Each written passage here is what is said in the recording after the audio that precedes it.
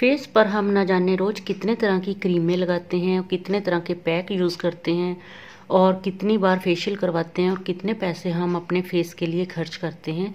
लेकिन पैरों की तरफ़ हम बहुत ही कम ध्यान देते हैं। तो इसीलिए आज मैंने बुलाया है पेडिक्योर करवाने के लिए। तो आज मैं घर पर ही पेडिक्योर करवाने वाली हूँ। साथ ही आपको भी दिखाऊँगी ताकि आप भी जान सकें कि पार्लर वाले पेडिक्योर कैसे करते हैं। अगर आप घर पर करना चाहें तो वैसे ही कर सकते हैं। और हम अपने पैरों को सुंदर बना सकते हैं।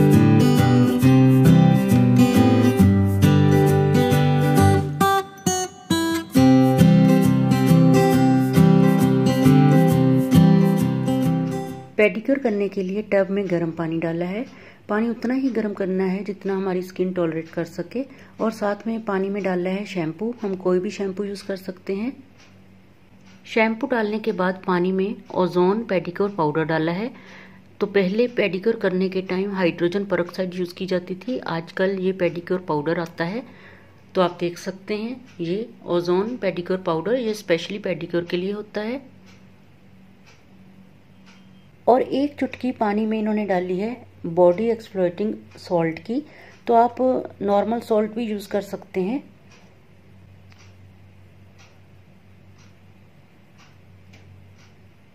पेडिक्योर का सबसे पहला स्टेप, अगर आपके पैरों पर कोई भी नेल पेंट लगा है तो आप उसको नेल पेंट रिमूवर से साफ़ कर लें।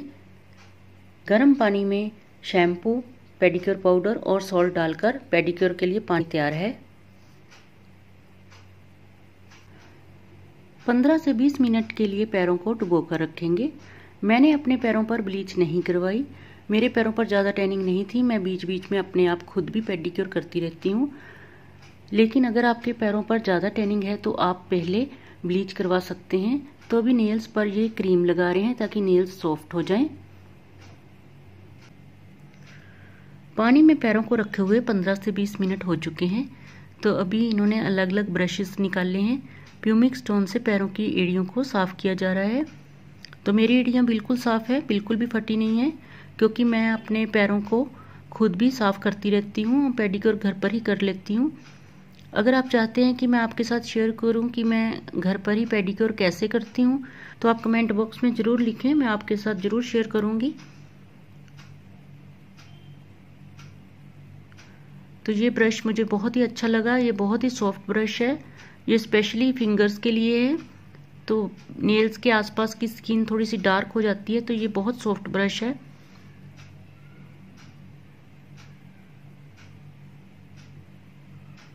पैरों का भी हमें ध्यान रखना चाहिए। पैरों की बदौलत ही हम चल फिर सकते हैं। पैरों की इम्पोर्टेंस तभी समझ आती है जब कोई प्रॉब्लम होती है। तो पैरों का ध्यान ज़रूर रखें। अपनी एड़ियों को फटने ना दें।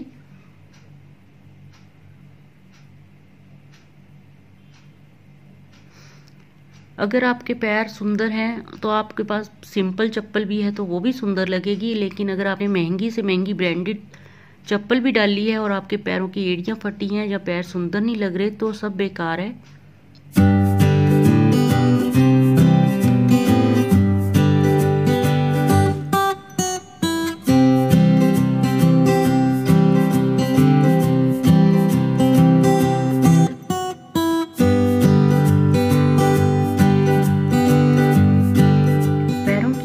साफ़ करने के बाद अभी पैरों पर स्क्रब लगाया है।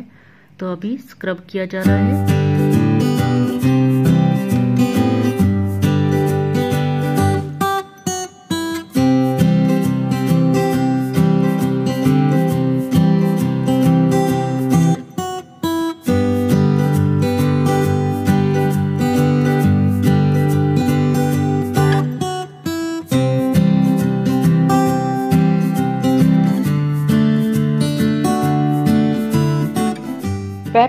करने के बाद स्क्रब को उतार दिया गया है। तो अभी पैरों के नेल्स पर फिर से क्रीम लगाई जा रही है ताकि नेल्स सॉफ्ट हो जाएँ। तो अभी नेल्स को साफ़ करने की बारी है।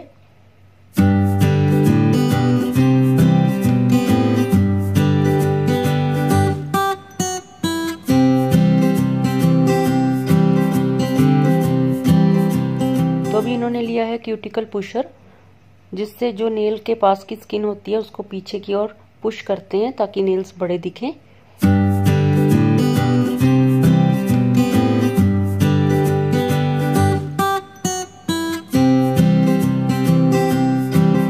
और साथ ही साथ कॉटन से नेल्स को साफ़ भी करते जा रहे हैं क्रीम उतार रहे हैं।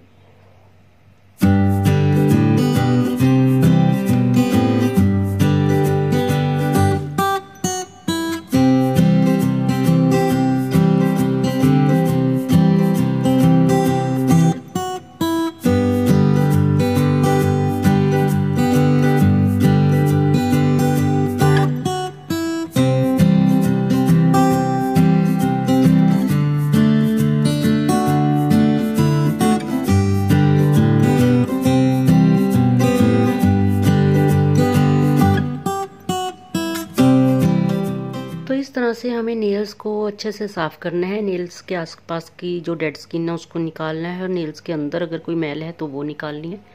तो नेल्स को अच्छे से साफ़ करके नेल फाइलर से शेप बनानी है।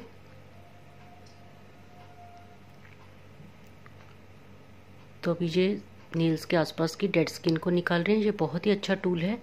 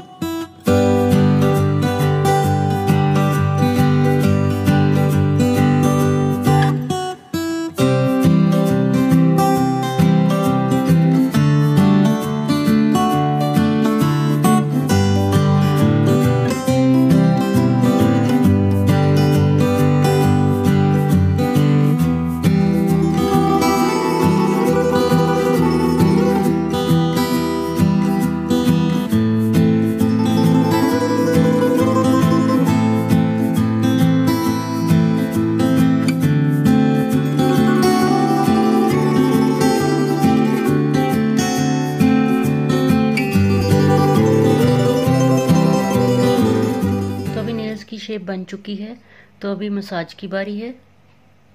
तो 10 से 15 मिनट इन्होंने मेरे पैरों की मसाज की तो मसाज करने से पैरों को बहुत ही आराम मिला।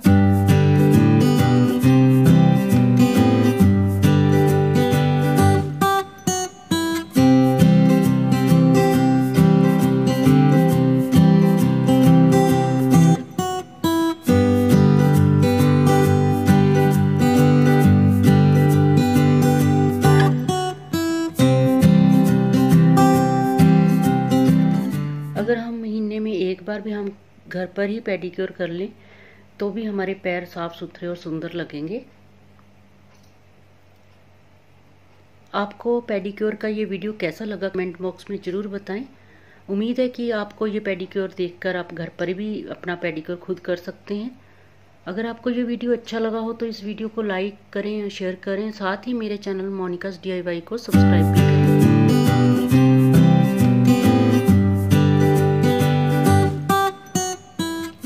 आपको अपने पैरों का फाइनल लुक भी दिखाऊँगी। तो अभी ये मसाज कंप्लीट करेंगे तो फिर उसके बाद नेल पेंट भी लगाएँगे। तो मसाज करने के बाद नेल्स के ऊपर क्रीम लगी हुई थी तो वो इन्होंने साफ़ कर दी है ताकि नेल पेंट लगा सकें।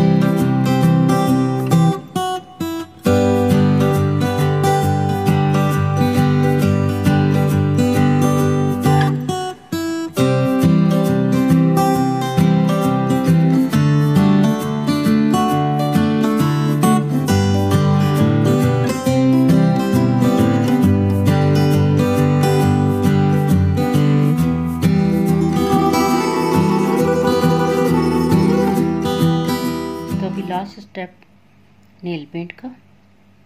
तो वो भी अभी नेल पेंट कंप्लीट हो गया है। तो ये है मेरे पैरों का फाइनल लुक पेडिक्योर करने के बाद तो आप देख सकते हैं कि कितना फ़र्क आ गया है पैरों में।